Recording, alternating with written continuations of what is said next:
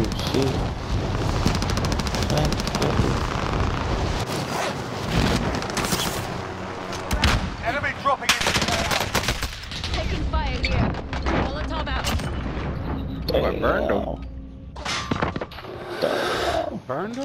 I burned them, bro. I just threw them over the side of this fucking... Fuck, the war zone.